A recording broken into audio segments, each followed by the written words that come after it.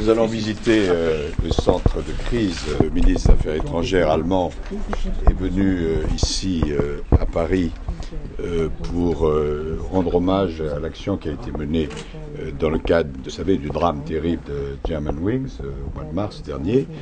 Et puis il était prévu aussi que nous visitions notre centre de crise et qu'il y ait un contact avec le centre de crise et de soutien allemand. Donc c'est ce que nous allons faire maintenant. Monsieur Fabius, vous avez été espionné par les services allemands. Est-ce que vous avez des explications, peut-être des excuses de la part de votre homologue? Écoutez, euh, Frank-Walter Steinmeier euh, vous dira ce qu'il souhaite vous dire. Euh, bon, c'est toujours très désagréable d'apprendre qu'on est espionné. Euh, c'est quelque chose euh, qu'on ne fait pas entre amis, surtout. C'est certain. Euh, ce que nous avons fait, c'est que nous avons demandé euh, au gouvernement allemand des explications, des informations, et je suis sûr que le gouvernement allemand nous les donnera. Et puis, nous voulons être sûrs, le président de la République et moi-même aussi, que tout cela a cessé. Et si cela m'a concerné, que ça n'a concerné que moi. Donc, euh, de ce point de vue-là, euh, nous sommes en attente des informations que nous donnerons nos amis allemands. Herr Minister, wie haben Sie Ihrem Freund das Abhören erklären können? Wie hat er reagiert?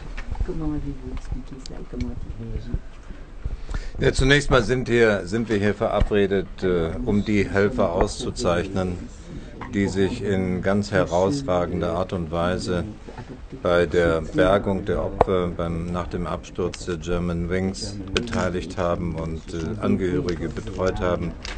Und wir tun das von deutscher Seite aus äh, wirklich in großer Dankbarschaft, in großer Dankbarkeit. Darüber hinaus äh, hat uns die Zusammenarbeit in, in diesem Krisenfall, dieser Tragödie auch veranlasst, unsere Krisenstäbe noch enger zusammenzuschalten und äh, wir werden heute den französischen Krisenstab besichtigen und auch äh, zusammengeschaltet sein mit dem Krisenstab im Auswärtigen Amt. Äh, wir trennen uns heute Abend, um uns morgen früh in Wien wieder zu sehen, um dann gemeinsam ähm, über Syrien und die Zukunft Syriens zu reden. In der vergangenen Woche haben wir uns in Berlin getroffen, um über die Umsetzung des Minsker Abkommens für die Ukraine zu reden. Ich sage das, um zu sagen, ähm, dass das Vertrauensverhältnis zwischen Deutschland und Frankreich und insbesondere zwischen den beiden Außenministern groß ist. Aber natürlich äh, gibt es auch Belastungen, wenn ähm, die Nachrichten kommen, wie die der nachrichtendienstlichen Aktivitäten gegenüber meinem französischen äh, Kollegen und Freund Laurent Fabius. Ich habe ausdrücklich gesagt, ähm, dass Frankreich und französische Politiker nicht im Profil des äh, deutschen Auslandsnachrichtendienstes liegen dürfen und äh, deshalb muss schnellstmöglich aufgeklärt werden, was wirklich der Fall ist. Dazu ist der BND aufgefordert und ich hoffe, dass die Aufklärung so schnell wie möglich kommt. Können Sie denn garantieren, dass das aufgehört hat, so wie es Minister Fabius das eben verlangt hat?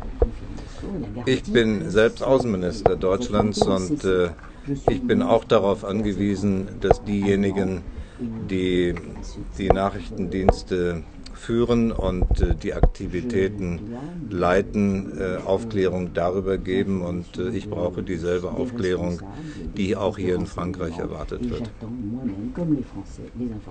Merci beaucoup.